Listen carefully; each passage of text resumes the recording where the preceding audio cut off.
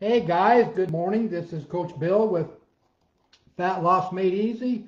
Hope you guys are having a great uh, rainy Monday morning so far. Today's topic, guys, is uh, I'm going to give you a little update. I don't think I've given you an update on how MNI's training is training coming along and how our um, strength is coming along.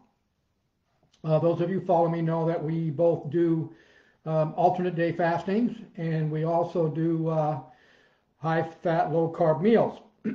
and um, this last uh, month and a half, I think it, has been maybe two months, I'm not sure. But um, I, I, I, introduced 42-hour uh, fastings on our Tuesdays when we fast, and then I've done, and then I'll do a 20-hour fast on Thursday and a 20-hour fast on um, Saturday, and these are all true fasts, uh, which means we're only drinking uh, water with our pink Himalayan sea salt and black coffee. But um, what I've done in the last couple of weeks is I've actually gone strictly 42 hours on Tuesdays, which has become pretty simple for us to do now. Of course, at first when we started this, had a few hunger ways, but because we know how to uh, blow through them, um, they didn't last very long.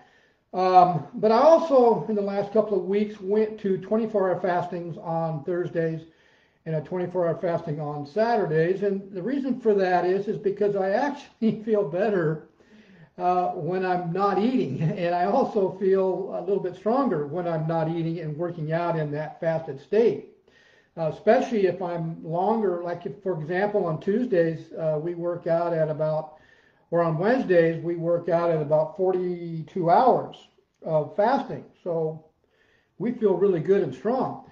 But in this last couple of weeks, Emily and I, um, yes, we have actually gone, uh, gained some extra strength uh, according to our documentation.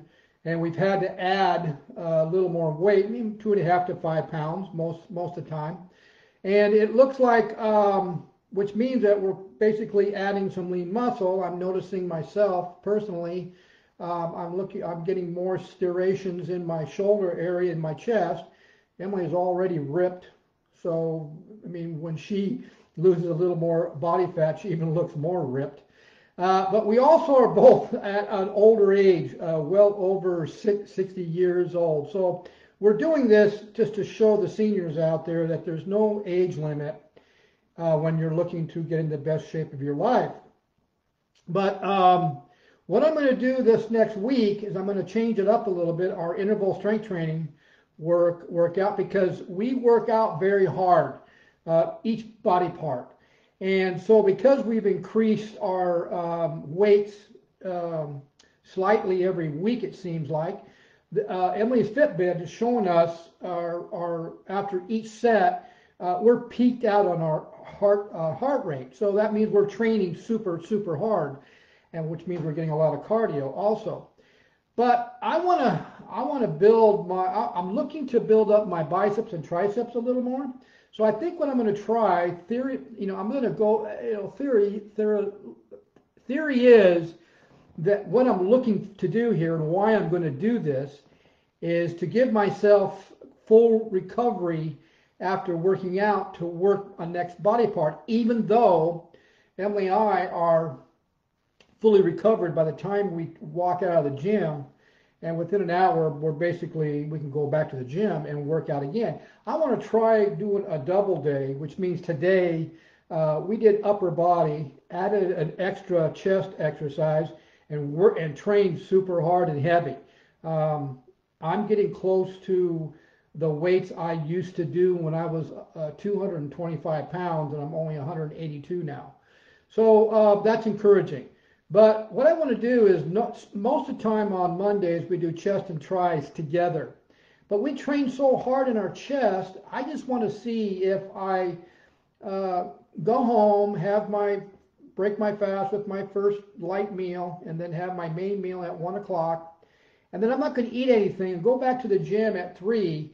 And I'm going to do tries and bis, and I'm going to hammer. We're going to do our normal heavy work, workout on our tries and bis and see if by resting a few more hours and then letting our food di digest and then uh, most of the time we're pretty within an hour or two, we've digested most of our food because we don't overconsume food. Our meals are not huge, and our digestive tract works very, very well because we've been doing this program for you know quite a few years now. But I want to see if I can even train harder with my tries and bis and see how that goes, and I'll document what I'm doing and see if I can increase my strength on my tries and bis. And then um, tomorrow, uh, Tuesday, my fasting day, which will be a 42 hour fa- fasting day, I'm also going to do a split routine. I'm going to do um, my legs in the morning because I need to do my legs, and then I'm going to do my shoulders about 1 or 2 o'clock. But we're not going to be eating any calories through that whole day until Wednesday around 10 o'clock the following morning.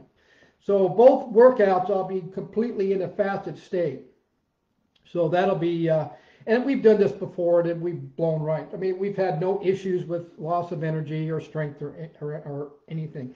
And that's because we're, we're rooted in fat adaptation and ketone adapted. And you guys got to remember, we've been doing this for a long, long time. So that's what we're going to be doing this week.